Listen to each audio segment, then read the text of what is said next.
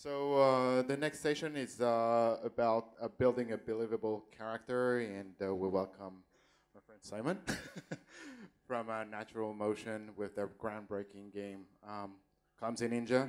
I think you all know about the game, so no need to present. Um, it's a pretty big game right now. So thank you. Thanks.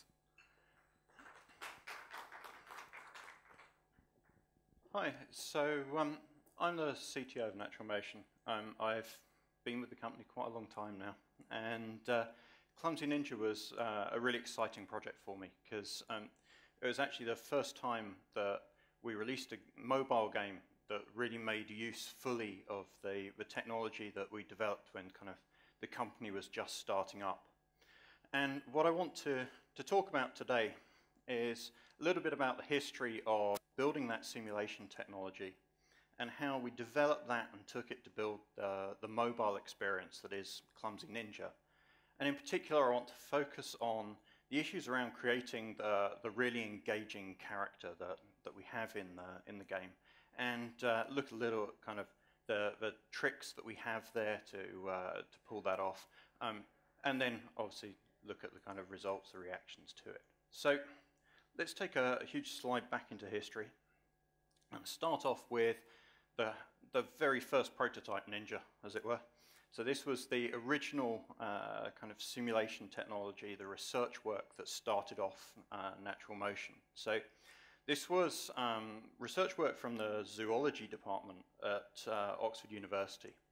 And it was looking at how to simulate um, a walking character. So this is a little kind of two-legged character, a biped character, and we're looking at running it inside a physics simulation, so it's physically simulated legs, um, using a neural network controller to try and make the, the character walk like a human. And the, uh, you know, the algorithms ran overnight, and this is the amazing results of, of that research. So the character's walking, he's moving around, but doesn't exactly look perfect. So a little bit more work was required. And one of the, the key things, as well as improving the, the neural network controllers, was to build uh, an artificial evolution system. So the idea here is we've got a bunch of inputs to, uh, to the controllers, kind of randomize them, test out a whole load of, of different ones. The ones that do best, you select and use as the basis for trying out more randomizations later on. And this, this sums up um, what we got out of uh, that approach. So you can see here, we start with a character that can just kind of wave its legs around a bit, and it obviously falls over and wanders around. But after five generations of the artificial evolution process, what we end up with is a character that's able to take first couple of tentative steps before falling over, and then still kicking its legs and wandering around. But then after 10 generations, you can see we're starting to get really quite definite steps. And the character moves forwards before ultimately failing and falling over. Then finally, after 20 generations, we get to the kind of boring bit of the video, which is uh, a fully simulated character that's able to actually walk on its own. So all this work is a great kind of breakthrough in, in the, the research, but ultimately, we've ended up with a character that's able to walk and probably not quite as well as a, a piece of animation would, would have a character walk. So how did this lead to, to natural motion? Well, the idea is we can take this simulated character and we use this as a way, a new way of creating animation. Because this is running in a simulation, it can adapt and react to dynamic changes in the environment um, and the, the physical simulations that occur within a game. Um, and in fact, the first uses we, we had for it um, weren't for games at all. Um, we took the, the technology, put it into an animation tool, and let animators basically have a kind of virtual stunt man. And what, the, uh, what this, this package let you do was build um, kind of stuntman effects for movies and, and uh, commercials and that sort of thing. But it started to gain traction building um, animations for, for games. And then around the kind of mid 2000s, we had the Xbox 360, the PlayStation 3 were coming up, and we were able finally to take this, this technology and adapt it for real-time use. And that was uh, the system that we call Euphoria. So what this lets us do is take that simulated character and now have it inside a, a game animation engine and have the character actually be able to respond dynamically to physical interactions uh, in the game. So this video um, was captured from someone actually playing a, a, live build. So, so this was all captured live, moving the, the arrow around and so on.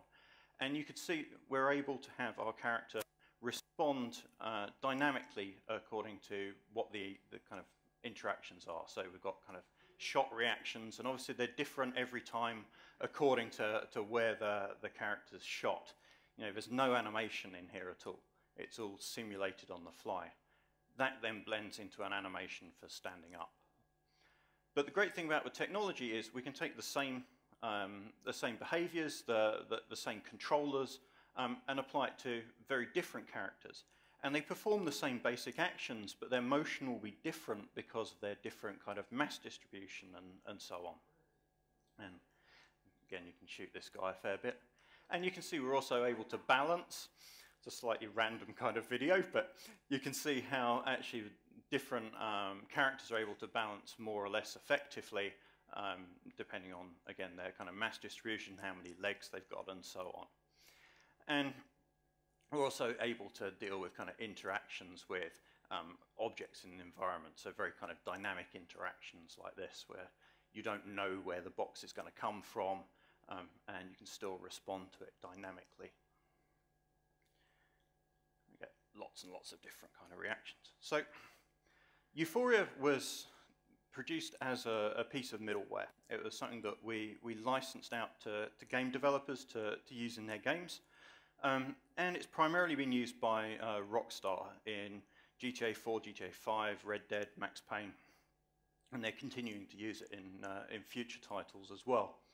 And what this allows them to do is to have very dynamic character reactions. So characters that react according to how the player uh, interacts with them, how they interact with the environment, how they interact with other characters. So these are kind of typical uh, things from, from GTA, um, you know, shot reactions and so on, um, are all simulated so that you get different reactions according to how you hit a character um, and what they fall into and, and so on.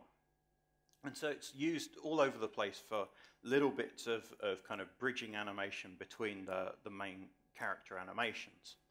And that obviously gives you a lot of flexibility in, uh, in how you, you can tie different animations together and deal with different situations and so on. But using simulation also leads to other effects.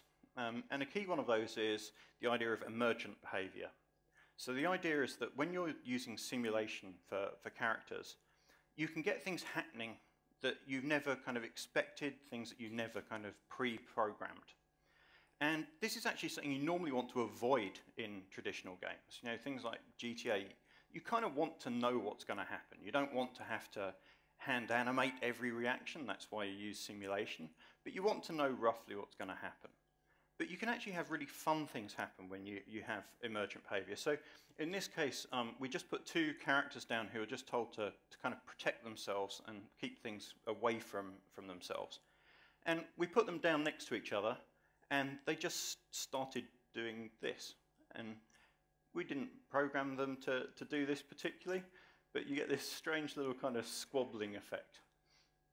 And it is just kind of fun. And they kept doing it for ages. You know, we, we, we did quite a short capture on the video, but they, they just carry on doing this for like 20 minutes or something, kind of pushing each other away. And so we just thought maybe it'd be fun to try and build something that actually lets people experience this kind of emergent behavior um, and trying to, to get a feel for what you can do with simulation when you don't quite know what's going to happen and do that in a, a, kind of environment where it doesn't matter, it's not gonna, to, going to detract from the game. So also around this time when we're thinking about doing this, um, we're up to the kind of iPhone 4, iPad 2 type era. And what we found was actually the performance on mobile started making it quite possible to, to run Euphoria. So this is running obviously a full physics simulation and, um, and uh, the behaviors on top of that. So that looked quite, quite exciting. And then on top of that, of course, there's the idea of having a touch screen. So when you're working with Euphoria, what you really want is to have that direct physical interaction with the characters. You know, it's all about seeing the response to, to kind of physical interactions. And when you're using kind of console controls in particular, but also when you're using like mouse and keyboard and stuff, you can feel quite detached from how you're interacting with characters. You know, touch just seemed really good for that. And we'd, we'd had a bit of success by this time on, on the mobile gaming side, and we just thought, you know, let's try and make a, a Euphoria game for, um, for iOS. So what we did was established a, a, pretty small team, sometimes just one or two people, and sometimes a few more, on uh, a project that we called uh, Euphoria Toy initially. Um, and the idea was to basically build an environment where you'd have a character and you get all the kind of physical reactions that, that you expect from Euphoria, a basic locomotion system so you can walk the character around, and then you could build objects for the character to play with. Um, and you would experiment by you know, building different environments and, and again, getting that kind of uh, emergent behavior and seeing what kind of uh, gameplay you could, you could kind of build yourself. So this is that Euphoria toy. Um, I don't think we've ever actually showed this before. So this is a capture off an iPad.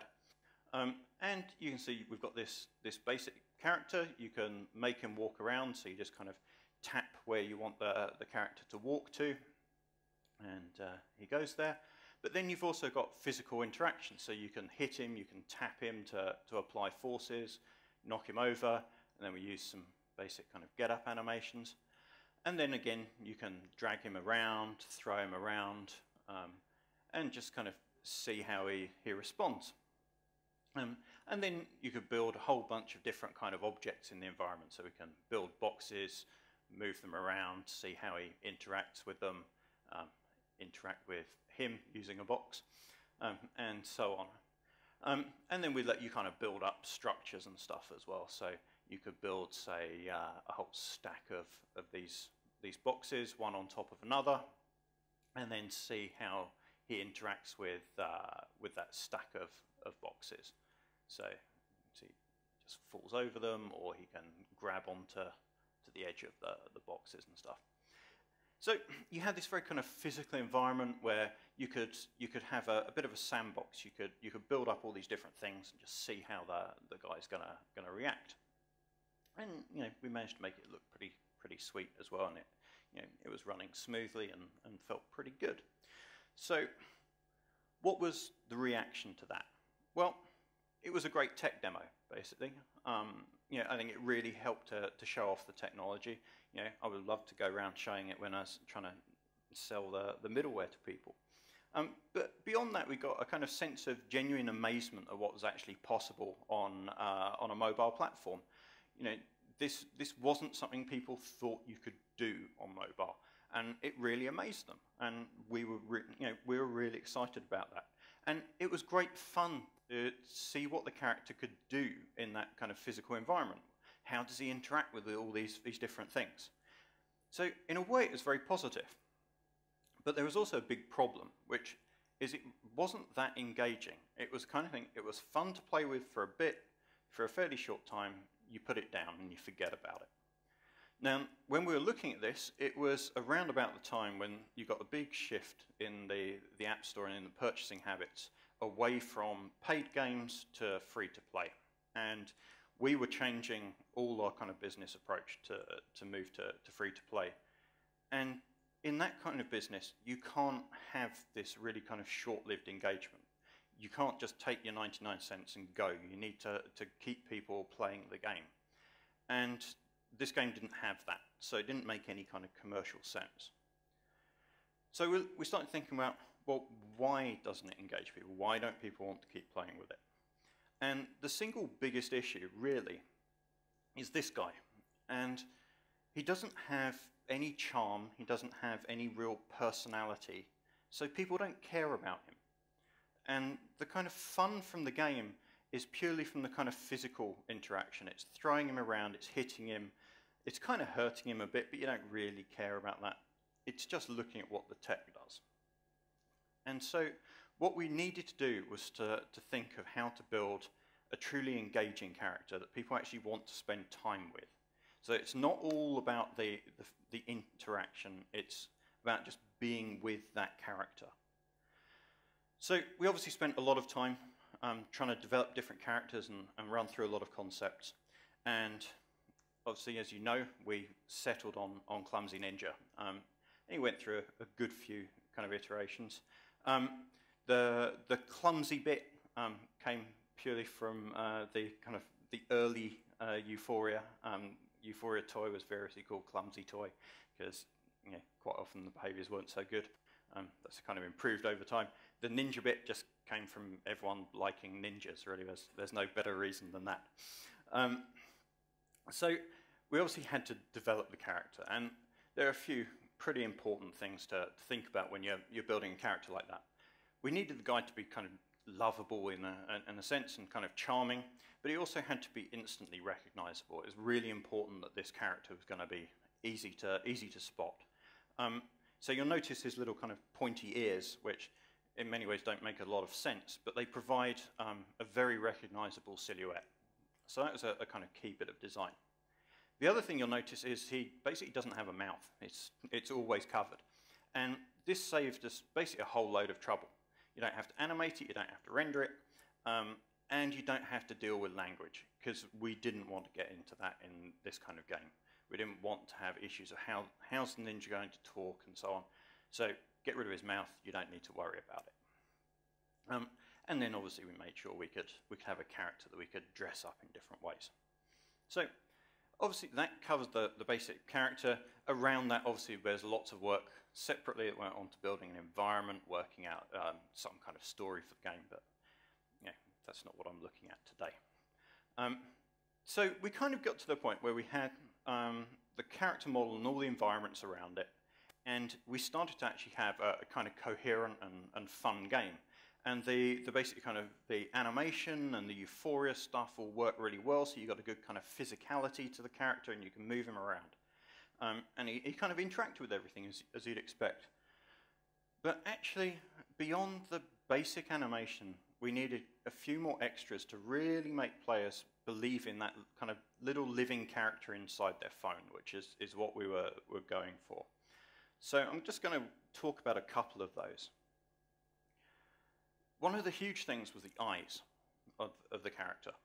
Um, we covered the mouth, as I explained. So actually, all of kind of expression of the character is through the body language and through the eyes. And getting the eyes right was absolutely critical. You can see we ran through a whole bunch of different concepts um, and lots of kind of tests for, for how the, the eyes could work. Um, it really was a big bit of, of work. And beyond just getting the, the basics of the kind of shape and the look of it, the eye movement was really, really important. So you could obviously, if you don't have any eye movement at all, then it just looks plain bad. But if you get the eye movement not quite right, this is one of those, those times when you get straight into the uncanny valley. You've got this kind of really creepy effect where it just doesn't feel right. So the other aspect, of course, is because we're using simulation to move the character and you need the, the eyes to, to respond, all of that also had to be procedural. So all the solutions we came up with had to be coded to deal with how the pupils should move around, when he should blink, and how he should kind of look at the, the screen. So I'm just going to run a, a, little video which um, shows just some typical things happening in, in Clumsy Ninja. And what I would suggest is rather than just looking at the game as a whole, looking at the, you know, looking at the character as a whole, just watch his eyes, watch what he does, because there's actually a surprising amount going on here. So he'll obviously look at an object as, as you move it around, and he'll change his focus. But then when nothing's really going on, he stops looking at it. He doesn't just stare crazily. You'll also notice he blinks at a fairly believable rate. And for smaller movements, he'll track with his eyes before using his, his head. as he kicks an object, he'll look down and see what it is that, that moved. When it goes out of sight, he doesn't just blindly keep staring at it, will will realign and, and so on. And in this example, you'll see with smaller objects near him, again, his pupils there will lead. He doesn't move his head when he doesn't need to. He'll blink. He'll keep watching while something's moving around him. And once he doesn't need to look at it, he'll look back at the, at the player, at the, the camera. And by getting that right, you can start to get quite a, a lot of emotion out of the character. You know, in what's going on here, his, you know, his body movement is pretty crude. But just from the way that he kind of stared at you at the, at the end there, you get a kind of sense for, for what's going on. So the game's very much about the player directly interacting with the ninja, having these kind of very physical interactions. But that experience actually is much more engaging if somehow that interaction is, is reciprocated. Um, and so you saw the ninja looks at the camera, he looks at the player, he's kind of questioning you in a way. You, at least you can read into it, that kind of thing. And that's one of the reasons why we built in the, the high five mechanic. Um, and in that way, we actually have the ninja directly request interaction from the player. And this is something that it turns out players really love, and it's, it's been hugely successful. So for those of you that haven't seen it, um, you finish a task and get your, your XP, and the, the ninja comes towards you and he asks for a high five. And he wants you to touch him, and if you do it, you follow the routine, everything's great. Now, you can, of course, ignore him. So if you, uh, if you ignore him, he tries quite a long time. I actually cut out about 10 seconds in the middle of this video because I didn't have enough to say. But he'll, he'll, um, he'll ask for the high five, you ignore him for the first time, and he'll keep going and he'll keep asking. And you actually find it's quite hard to ignore him. If you hold this in your hands and you ignore him for long enough, it's quite hard. And once, once you've got that reaction once, you're not going to ignore him again. So, anyway, those are a few tips and tricks. This is obviously how things ended up. So, uh, this is our, our launch trailer. And throughout this, I, I would urge you look at the guys, look at how the character interacts with with the player as as well as what's going on um, in the, the kind of virtual environment.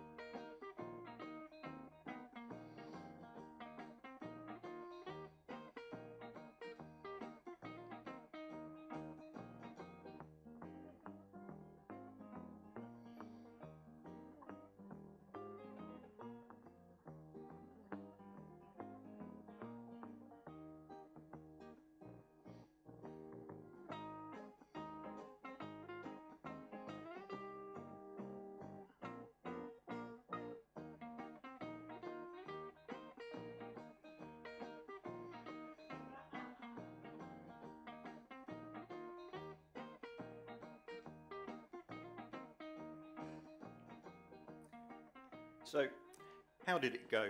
Um, pretty well.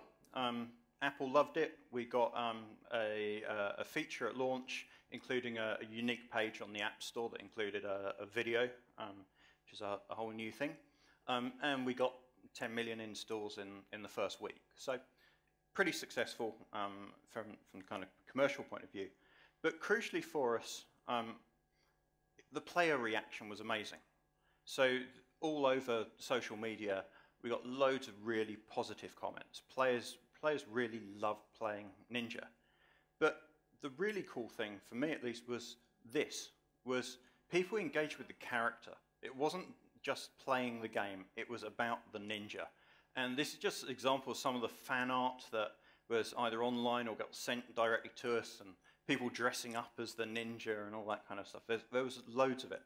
And I think this, this says we we really nailed it. We wouldn't have got that with our Euphoria toy guy.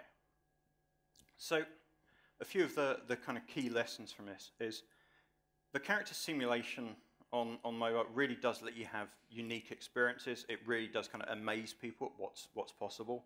But fairly obviously, really, cool tech is not enough. You need a whole game around it, but you also need, for this kind of thing, a really engaging character. And as I've shown you, there's a, a few tricks to getting that right. And if you do get it right, what you can do is combine that kind of cutting edge tech with the kind of cool art and stuff and end up with a, a, an experience that kind of really wows the, the players and gets you that kind of reaction. So that's it. I'm pretty much out of time. Um, so thank you all for listening. Um, if you do want to ask any questions, we may have a couple of minutes. Otherwise, you'll find me. Um, No. you find me outside um, later. Um, otherwise, hit up naturalmotion.com if you want to know more. Um, and a quick plug: it's a great place to work, and we are hiring. Thank you very much. Thank you very much. Um, we won't have time for Q&A, but if you want to chat with Simon, I invite you to talk with him outside the room if you want. or catch up by email or exchange Discord. Thank you.